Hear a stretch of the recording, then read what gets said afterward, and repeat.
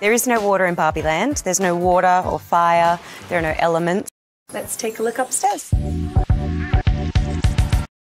This is Barbie's toothbrush. This is how she brushes her teeth. This is her shower. There is, of course, no water in Barbie Land, but she showers nonetheless. I actually, morning breath, her pajamas are impossibly ironed and beautiful still. Barbie has a pretty amazing view of Barbie Land from here. She gets her mail, by the way. All the writing in Barbie Land is actually. Thank you for coming to see the dream house. I have to get back to set now. Bye bye.